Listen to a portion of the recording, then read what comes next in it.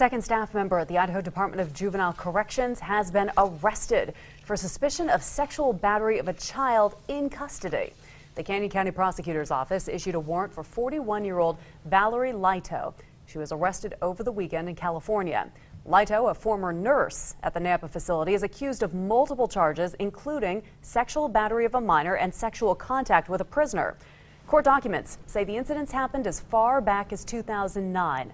A security supervisor at the facility has already been arrested and convicted on similar charges. Whistleblowers at the facility are pursuing a lawsuit against the state and leadership at the Nampa place where they call a culture of dysfunction at juvenile corrections.